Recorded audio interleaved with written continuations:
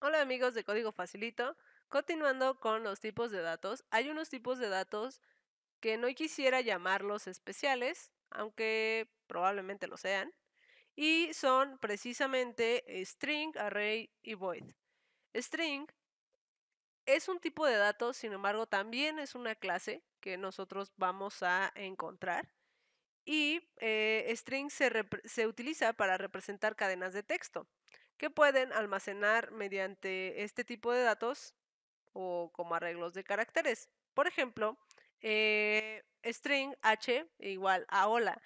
Hola vendría a ser un arreglo de caracteres, es decir, h o l a son elementos de un arreglo llamado h.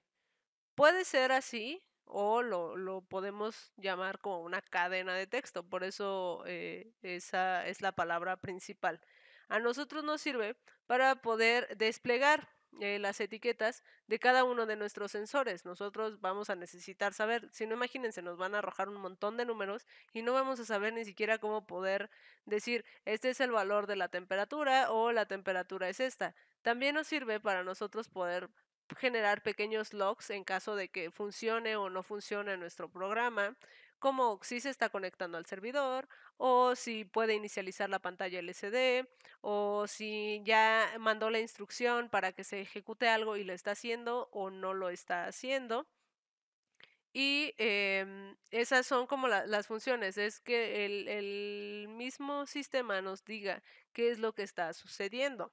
En el caso de los arreglos, se utilizan eh, como grupos de datos o variables a los que se accede mediante un índice. Por ejemplo, em, A es igual a 10. Ahí yo estoy diciendo que A va a ser un arreglo de tipo entero y que va a tener 10 elementos. Vamos a contarlos a través de un índice que es un 0, 1, 2, 3, 4, 5, 6, 7, 8, 9, hasta ahí porque empezamos a contabilizar desde cero. Eso es lo interesante de los arreglos, que se manejan a través de un índice. Y estos arreglos a nosotros nos van a permitir em, establecer ya sea el número de pines que vamos a utilizar o los valores que se van censando o un mensaje de una cadena de, de chars, que una cadena de chars pues son eh, un string pero podremos usar también algo que se llama string char y lo, declararíamos como char string y ya lo veremos un poco más adelante.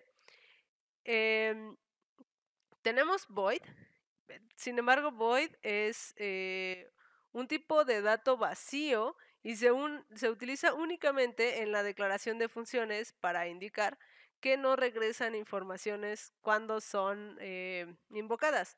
Por ejemplo, ya veíamos hace un momento en los videos anteriores, setup y loop son funciones y al tener la palabra reservada void, pues no regresa ningún valor, no hay un valor de retorno. Estos son unos tipos de datos no especiales, pero sí eh, distintos a los que se manejan en el video anterior y es importante conocerlos porque los vamos a utilizar todos los días. Yo soy Fernando Cha y los veo en el siguiente video.